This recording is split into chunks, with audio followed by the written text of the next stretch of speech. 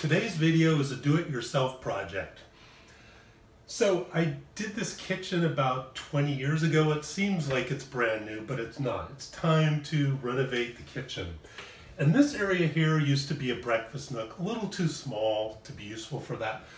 So we're gonna put in a counter here to match the other counters and a backsplash. But when you have a counter, you need outlets up above. So I have power down here and I need an outlet here. It's actually a lot simpler than it sounds. But first of all, um, I need to tell you, electricity will kill you if you don't know what you're doing. Enough said. Okay, so let's talk about how you do this. As I say, it's not quite as difficult as you would think. I mean, you'd think you need to rip off all this wallboard, but if things go my way and I remember how this wall is actually constructed, I'm good. So the first thing we're going to do, notice the placement. So what I did, the other outlets I measured from the ceiling so that this, these lines here represent the uh, how high the outlets are at the other counters because I want to match that. Everything's going to be the same height. Now, see down here, this box is for um, Ethernet and this is an outlet. Because of the spacing here, I can tell there's a stud between these two. I don't even need to drill. I know there's a stud there. So what I've done with my level, I've drawn a line straight up from there and I've marked the position of the 2x4 here. Now the way the wiring works, wire needs to be secured like every foot or so. So there's wiring stapled to this 2x4 along here. So, dangles. Um, I don't want to be cutting close to these wires here. This is where I decide I'm going to move the box over like two inches. Now, these boxes are called new work. They actually nail into the stud. What I'm going to use here, it's called an old work box. OLD, like old. What you do, you cut a hole. Let me see if I can show you. You cut the hole and then you stick it in the hole and then when you tighten these screws, these little flaps come out and then squeeze from the back so it holds the box in place. These are um, code approved. These are fine. So what I'm going to do, first of all, as I lectured you before, you can die doing this stuff. So if you don't know what you're doing, don't do it. First thing, I'm going to shut the power off. Now, this is the location where I want to cut out. I know the way this built, I put a shear wall in here because I believe in making things are sure things are strong in earthquake country. So normally I would just uh, cut it out with a wallboard saw. This is the fastest, but it's not going to work with the shear wall behind that. So what I'm going to have to do is drill in and then use a jigsaw.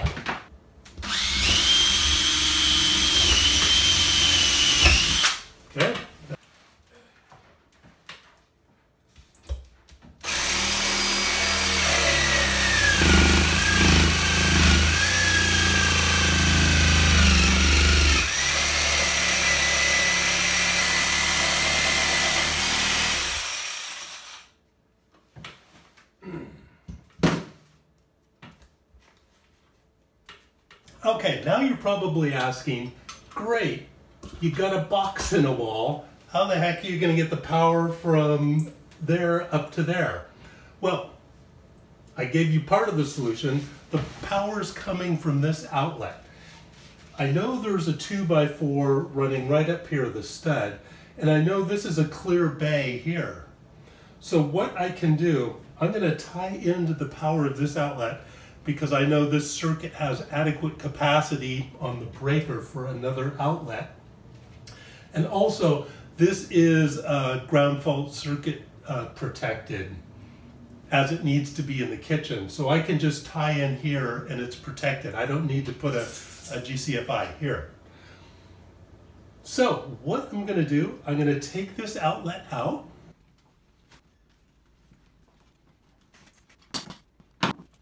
Now, if this was a complicated run, I would use this fish, fish tape.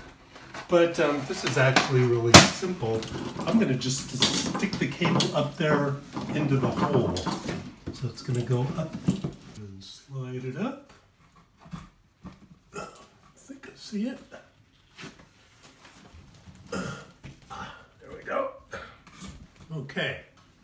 Now the easy part. The hard part's getting the hole in, getting the wire. Now it's just hooking it up. So we're gonna take our old work box and um, part of code is that the wire needs to be held firmly in place. And that's what these um, openings do on the old work box. You push it in and then it, um, it jams it tight. So we're gonna go in that one. jam it in here. Now we want about eight inches sticking out of the box here. Give us enough room to work with. Okay, now we can put the box in. As I showed you before, there's these little tangs that you put in. When you turn, they go sideways behind the wall and they clamp into the wall. Pretty nifty, huh? Okay. Okay, Excellent. Box is secure, cable, we're ready for wiring. Again, I'm gonna go ahead and get my gloves on because even though the breaker's off, I don't like taking chances. I like double protection. Okay, let me show you what we're gonna do here. First, I'm gonna do the top end.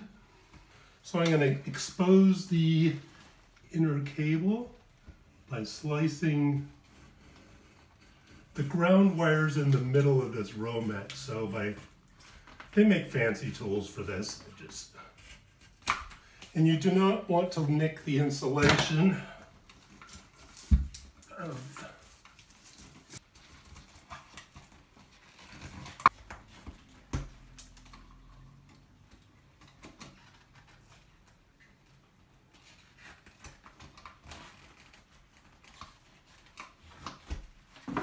Okay, got the outlet.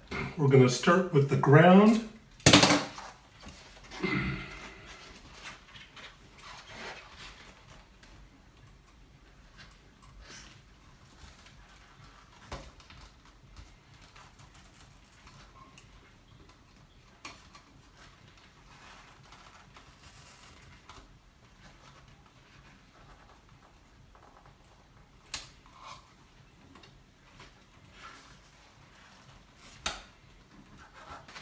Now they do have push-in connectors, but I never trust them. I've always found the actual old-fashioned screw-in to be much more reliable.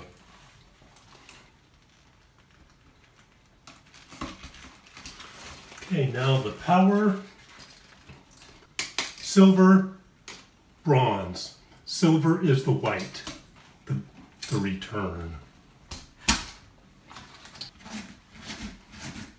Okay, and then the hot side.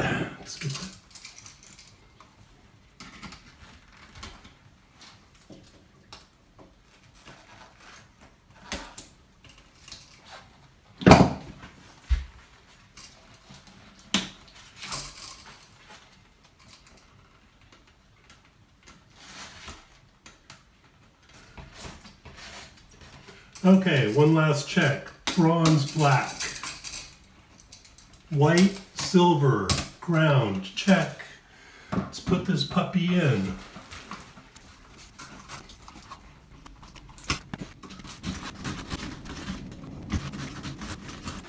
Okay, let's get started on the connections down here. First, as before, we're going to expose the cables going down the middle so you don't nick any of the insulation.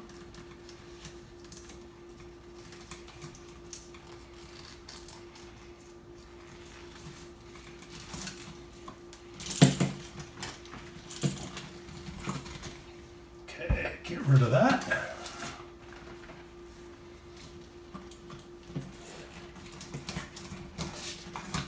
Okay. Now, let's disconnect this outlet. So I've turned off the breaker, I'm wearing gloves, but I want to know if there's if there's power here, this is to scare the heck out of me, but better to do it now than later. Okay, it's dead. No power. We're good.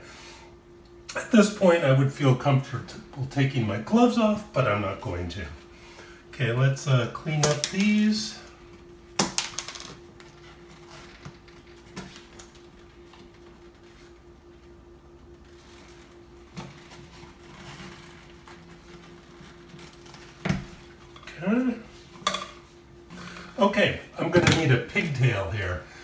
Because these need to all connect together to give power to the outlet up there. But I need outlet for this power, so what I'm going to do is take some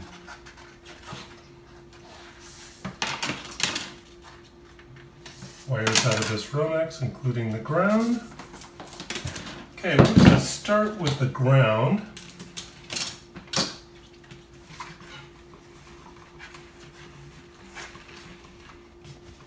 I'm going to wind these all the way back into the box. Really important. It is critical for safety. So let me trim that.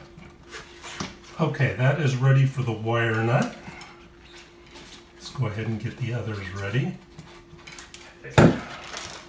Let's get the hot wire ready. Okay. Let's get this a good twist and get it ready for the wire nut. I like making sure the connection is solid before I even put the wire nut on. Trim that so it's ready for the wire nut. And now the ground, sorry, the return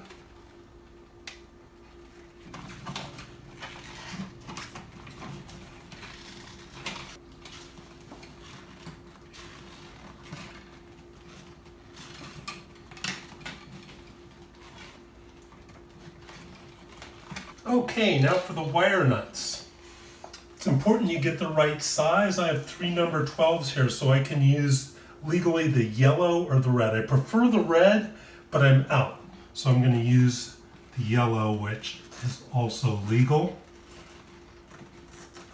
On the box of the wire nuts, it will tell you what wires are appropriate for use.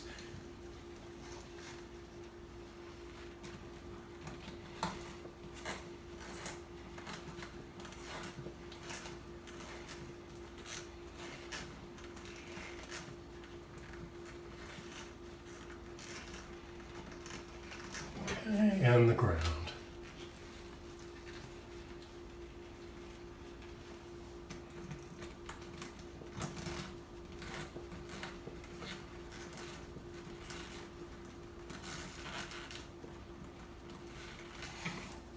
Okay, now I'm going to get all this wiring into the box, leaving the pigtails out. Again, bronze, black, silver, white.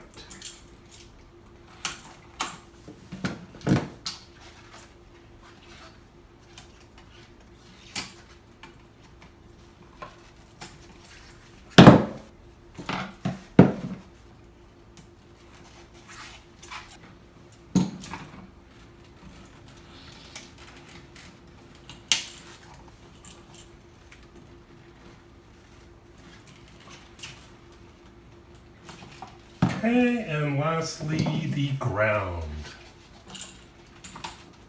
Okay, now we get to put this puppy in.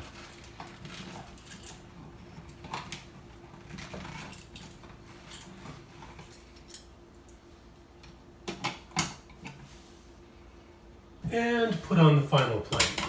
All that remains is to turn on the power on the breaker. Not going to bother doing that because there is literally nothing that could have gone wrong. Very straightforward job. So now I have the outlet that's going to be above the counter that we're going to put here. Excellent. Couple things I wanted to talk about. First of all, a lot of people wonder how I know how to do this stuff. Well, I had the fortune of take being couple things I wanted to cover. First of all, people always ask me how I learned to do this stuff. The foundation was laid in junior high school in my wood shop, metal shop, um, and plastic shop. Um, I covered that in the video, I believe it was titled Life is Not a Multiple Choice Test. But that certainly didn't have any information specific to building houses. Real books. There's a time and the place for the internet. This is not it. This is when you need real books. When I built houses, I didn't know how to do this stuff, so I bought books and read how to do it. The reason it's important to get real books, to publish a book, there's lawyers involved. And they make sure that the information is accurate. As you can see, this is based on the 1996 National Electrical Code. It's important you get a real book. If you're watching videos, you don't know who the heck is doing them. Like me, don't trust me. I am not a licensed electrician. Trust the book, trust the code. People often get really weird about building inspectors and code. The, they are not there to get in your way. They are there to save your life. Our government has screwed up in a lot of ways, but in one aspect, they have done an amazing job, and that is with the uh, building codes for plumbing, framing, and electrical there's no code that is not there for the sole purpose of saving your life, either from fire, from electrocution, from being crushed by earthquakes or hurricanes. It's all there to save your bacon. And I can guarantee you, if it's a safe installation, it follows code. If it doesn't follow code, it's not a safe installation. It's, it's really kind of simple. So anyway, this this is a pretty good book. Um, Electrical Wiring Residential 12th edition. I'm sure there's a newer edition. Um, the code hasn't changed that much. But anyway, you can find a wiring situation similar. You can read about it, find out what size breakers, how many uh, outlets you can have on a breaker, all that kind of good information. Wire sizing. And if you're going to do plumbing, I know this was about electrical, but this is an amazing book. Um, this small book can show you how to plumb an entire house. It's called Plumber's Handbook by Massey, M-A-S-S-E-Y. So that's it for today. Thanks for watching. Again, you know, I'm not a licensed electrician. This stuff can kill you. Be careful, okay?